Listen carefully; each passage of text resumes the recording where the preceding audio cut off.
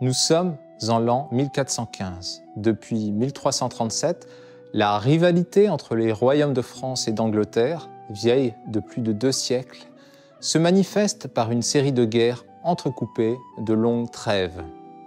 Cette série de conflits ne prendra fin qu'en 1453 et sera par la suite appelée la guerre de Cent Ans. Le 13 août 1415, Henri V d'Angleterre, qui revendique le titre de roi de France, débarque en Normandie après l'échec de négociations avec les Français.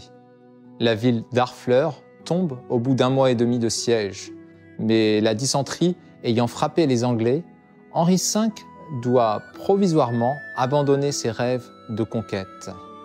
Il se dirige avec son armée vers Calais en vue de rembarquer vers l'Angleterre. L'ost du roi de France, Charles VI, absent car atteint alors d'une maladie mentale, parvient à rattraper les Anglais le 24 octobre. C'est dans ce contexte historique que se déroule le dernier roman de Jean Telet, Azincourt par temps de pluie.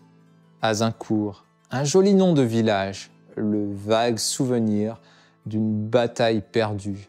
Ce 25 octobre 1415, il pleut dru sur l'Artois. Quelques milliers de soldats anglais qui ne songent qu'à rentrer chez eux se retrouvent pris au piège par des Français en surnombre. Beauté, casqués, cuirassés, armés jusqu'aux dents, brandissant fièrement leurs étendards, tous les aristocrates de la cour de France se précipitent pour participer à la curée. Ils ont bien l'intention de se couvrir de gloire dans la grande tradition de la chevalerie française. Aucun d'entre eux ne reviendra vivant. Toutes les armées du monde ont un jour ou l'autre pris la pâtée, mais pour un désastre de cette ampleur, un seul mot s'impose, grandiose.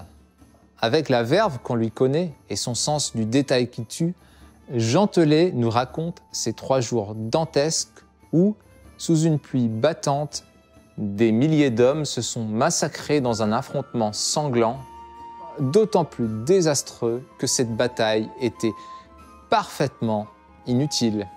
La bataille d'Azincourt peut être considérée comme la fin de l'ère de la chevalerie, car de nombreuses lois de cette dite chevalerie y ont été bafouées par les perfides envahisseurs.